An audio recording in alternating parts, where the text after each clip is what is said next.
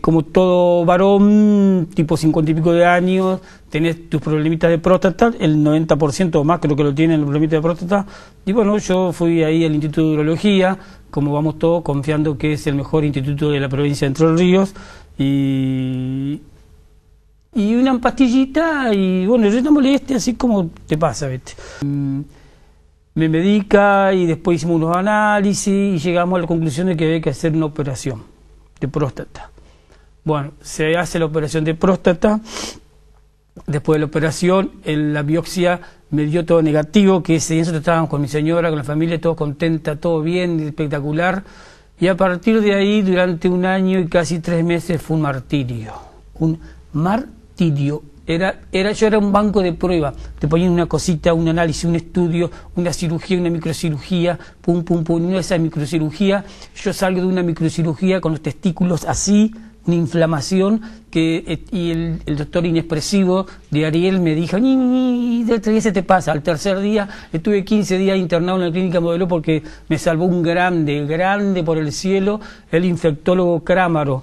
Al año y Chirolita, a mí se me ocurre ir a hacer una consulta al doctor Raúl Rodríguez y a la vez, no sabía ninguno de los dos, voy a, eh, ¿cómo se llama acá en Crespo? El, al Sanatorio Adventista del Plata y hablo con el doctor que no me acuerdo el apellido.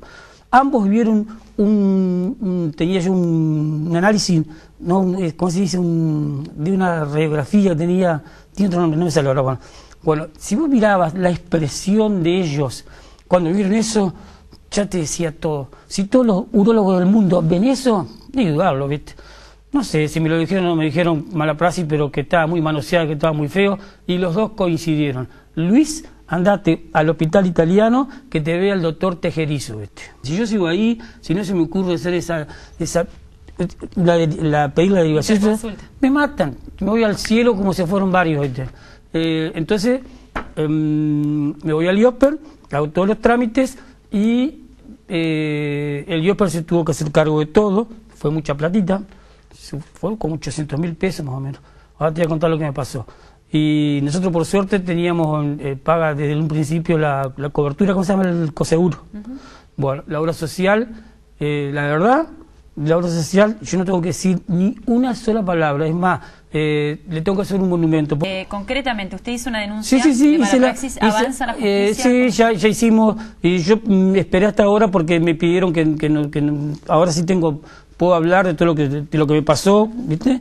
Eh, el juicio sigue para adelante, ya tuvimos la audiencia esa preliminar, obligatoria y no hubo arreglo, el juicio sigue para adelante. No me importa el juicio, ¿sabes lo que me importa a mí? Que a vos, a los chicos, tu papá, tu mamá, a nadie le pase lo que me pasó a mí. Eso me importa, eso.